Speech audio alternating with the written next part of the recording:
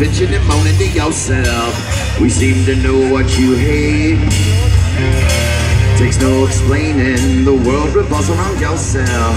You think you're queen, but you ain't. And I can see it,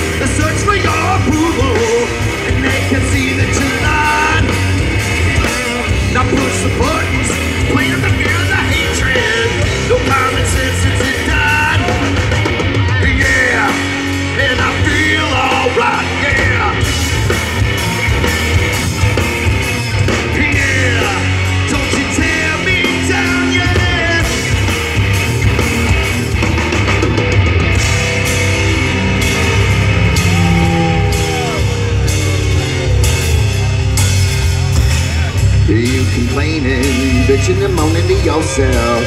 A life that's filled with debris. It's entertaining the things you think about yourself and hoping people agree.